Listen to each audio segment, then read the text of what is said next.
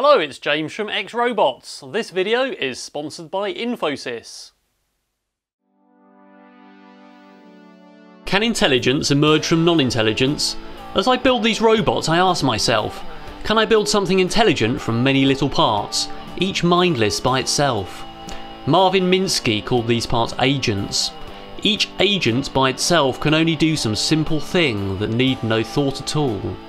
Yet when we join these agents in societies, in certain and very special ways this leads to intelligence.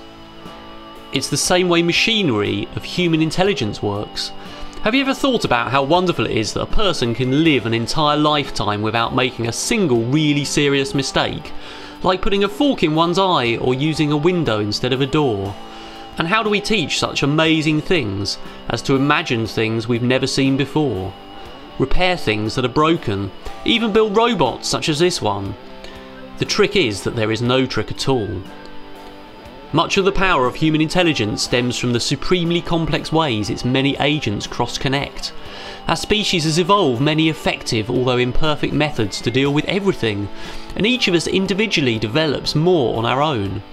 Eventually, very few of our actions and decisions come to depend on any single mechanism. Instead, they emerge from conflicts and negotiations among societies of agents.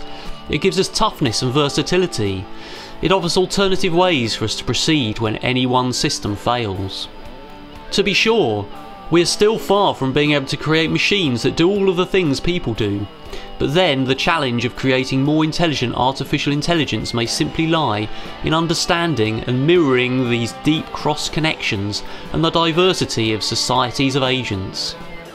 Fascinating, isn't it?